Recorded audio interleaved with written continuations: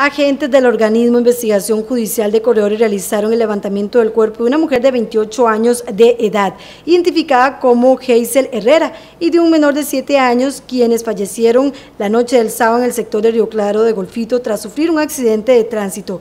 Informes preliminares indican que los hechos se dieron a eso a las 7 y media de la noche, cuando los ahora fallecidos viajaban en un automóvil con otro sujeto y un menor más, momento en que al parecer el conductor de un carro realizó un viraje para ingresar a un una propiedad, por lo que invadió el carril del automóvil y en ese instante se produjo la colisión.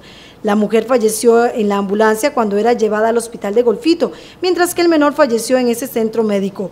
El chofer del carro, donde iban las dos personas ahora fallecidas, un hombre de 35 años y un menor de 13 años, que los acompañaba, fueron trasladados al hospital también. Por otra parte, el conductor del carro, que en apariencia realizó el viraje, fue llevado también a ese centro médico, donde bajo dirección funcional con el Ministerio Público quedó en custodia policial porque la alcoholemia dio positiva. Con este hombre viajaban tres mujeres de 21, 22 y 25 años, quienes fueron remitidas a otros centros médicos. El cuerpo de las personas fallecidas fue enviado a la morgue judicial para que se le realice la respectiva autopsia. El caso continúa en investigación.